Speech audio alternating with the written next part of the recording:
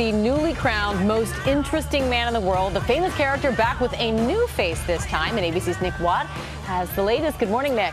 Good morning. Well, who is he? Yep, it's not George and Strahan. It's not you either. Sorry, chaps, not this time. He is the most interesting man in the world. Get ready because the world's most interesting man is looking a little different this morning. That's him back to the camera in a teaser just dropped by Dos Equis. ¿Crees que habrá alguien tan interesante como él? He's French, immediately makes him interesting. In his early 40s, ditto. Actor, director, trained lawyer, goes by the name Augustin Legrand. Swoon. Augustin is promising fewer philosophical musings than his 77 year old predecessor, Jonathan Goldsmith. His mother has a tattoo that reads, Son.